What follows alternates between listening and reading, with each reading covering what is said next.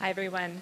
I'm Courtney Young, co founder and CEO of Myogene Bio, a startup that's dedicated to developing cutting edge therapies for muscle diseases, starting with a gene editing therapy for Duchenne muscular dystrophy.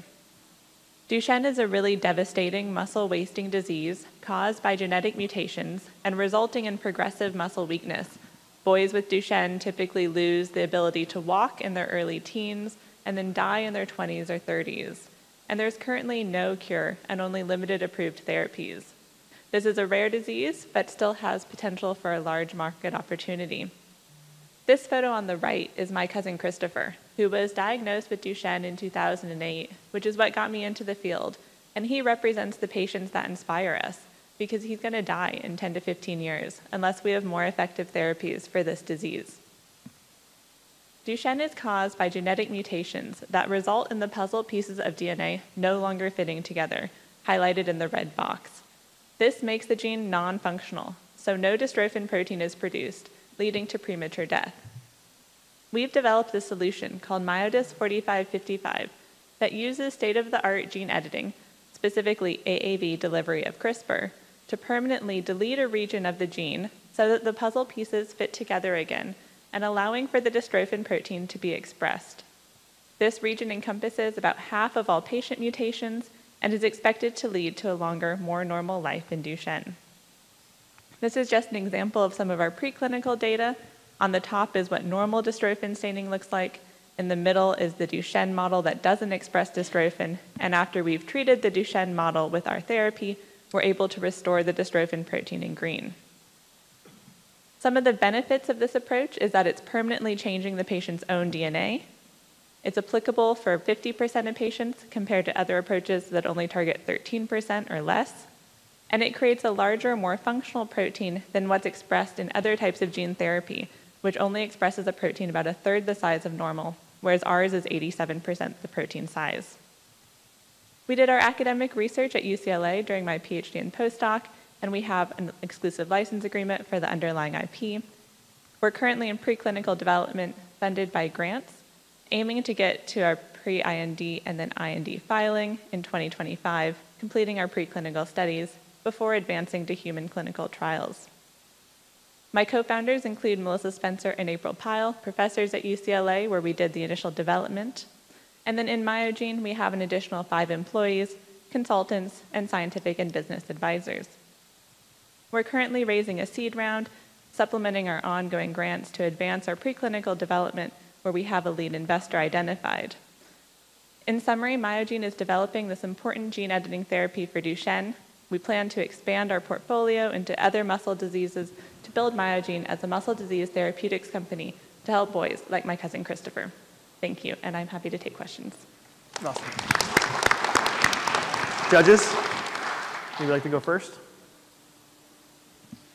I guess I will ask first question. Um, can you elaborate a little more about the IP part? What is particularly uh, the intellectual property for this?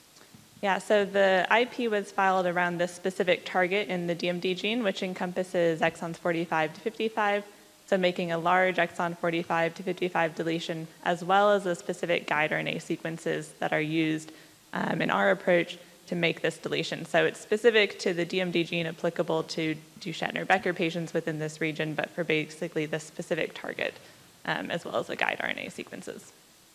Um, and when you are saying you you are planning to expand the technologies to other disorders, um, if uh, if this is specific to this disorder, then um, how is it going to expand to other fields? Yeah, so each you know, gene target and, and DNA target will be unique IP.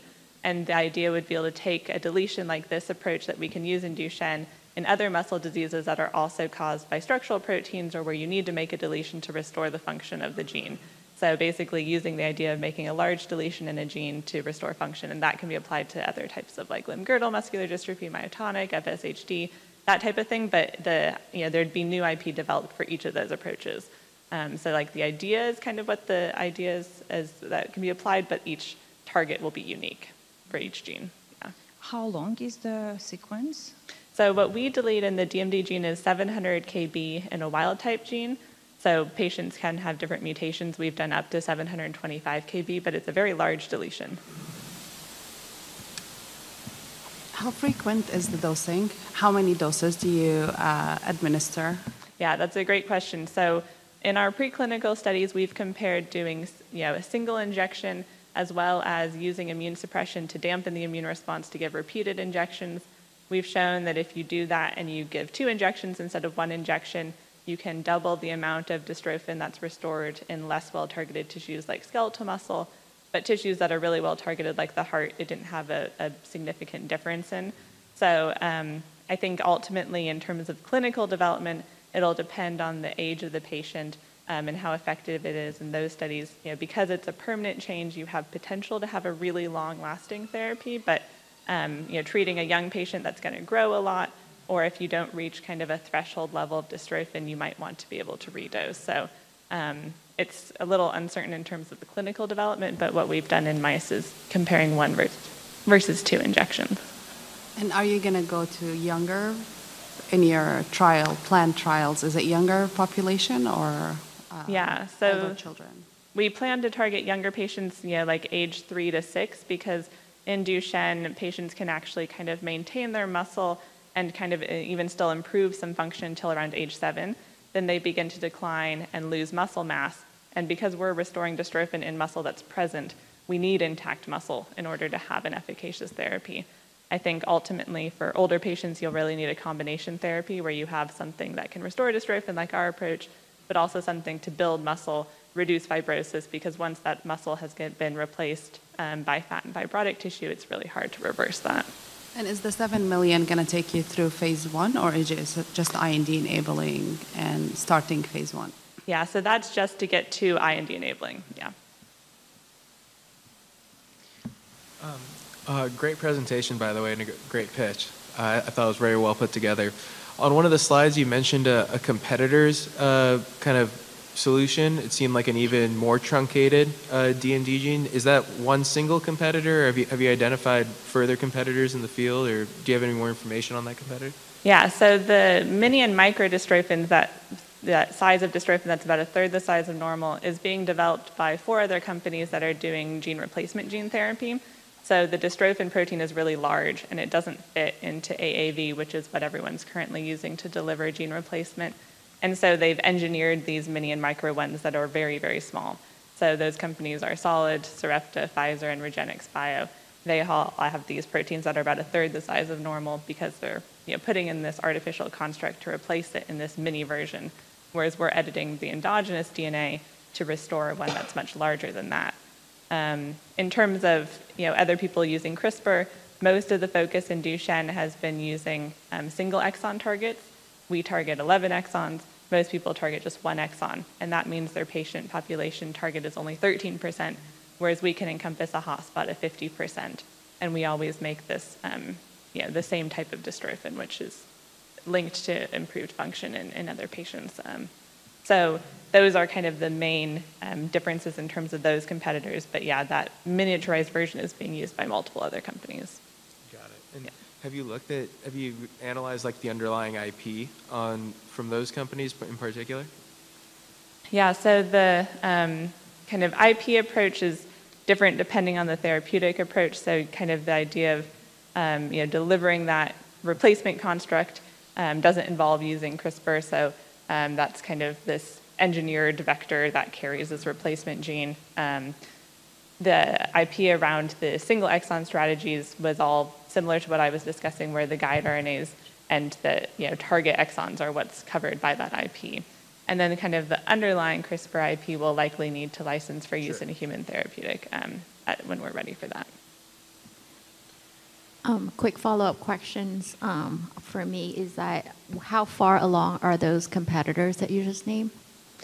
So the mini and micro dystrophin approaches, and I think I probably have a slide if it's helpful, um, are um, currently in clinical trials. So that's the second from the bottom row here that use that very small version of the gene. Um, the Sarepta gene replacement one just was uh, going up for accelerated approval, so that is pending. Um, the other gene editing approaches are all preclinical, um, where we are as well. And how have um, I'm just trying to see, do you have their efficacy on, okay.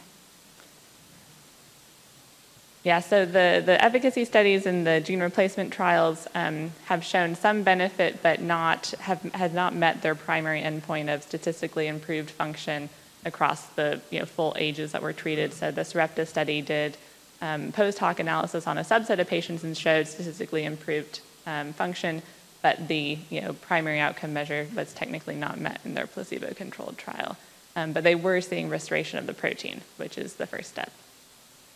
Thank you. Yep. So maybe um, a higher level question. Um, If you can imagine after 2030, uh, w- would this therapy be granted orphan drug status? And how many patients globally would have access to the therapy? Yeah, so we do expect that it could get orphan drug access, um, and you know, right now, the incidence of Duchenne is about one in 5,000 patient, 5,000 boys that are born each year. Um, in the U.S. and Europe, it's a total of like 30 to 50,000 patients. So if you scale that, it's you know maybe a couple hundred thousand patients um, total, and our approach is applicable for half of those with this initial approach. Um, so that would be the overall target market. And, and who do you imagine would, would pay for this outside the US? This would be governments that would pay for, uh, I'm guessing, what would be a very expensive therapy? Right, exactly. I think know, we'll be learning with the current other approaches for gene therapy how they're going to deal with market access in other countries because, yes, all the gene therapies are very expensive.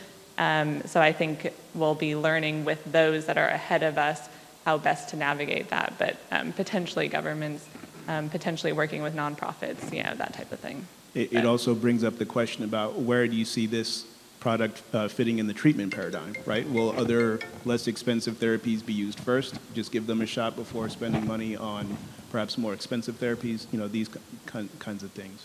Yeah. I'd be, I'd be curious to see where, where you'd fit in here. Yeah, definitely. And I think you know, ultimately, the overall goal would be to have a combination therapy, um, which using some of the other ones that address some of the downstream side effects to bolster the efficacy of this therapy. Because the only other ones that currently can restore dystrophin that are approved are these exon skipping approaches, and they're not very effective. They only restore very small amounts of the protein, so we still need something that's effective at restoring dystrophin. Yeah. Thank you. Yeah, thank you. I think we have time for one more question. There is one. Yeah, go ahead, Albert. So are, you at all concerned about repeated dosing of an AAV-based approach? And um, to what extent are the, um, I guess, the one clinical program is a single dose? So how do you sort of compare repeated dosing in, in the realm of AAVs? Yeah, so in our preclinical studies, we can only achieve repeated dosing if we use a strong immune suppression cocktail that really dampens the immune response to the first dose. And we also think that's important for safety because a lot of adverse events seen with gene therapy are caused by this immune response. So our current approach is to give this stronger cocktail like a B cell depleting drug and a T cell inhibitor with the first dose so that you can prevent that initial immune response from developing. Um, and in mice, we've shown that that allows for repeated dosing. In the first in human study, it would likely just be that single dose to assess safety. But then, if needed, the idea of redosing with this immune suppression cocktail is what would be um, used because, yeah, alone, it's, you know, giving it AV is currently not effective multiple times. You need these other approaches. Excellent. Thank you so much. Great job. Thank you.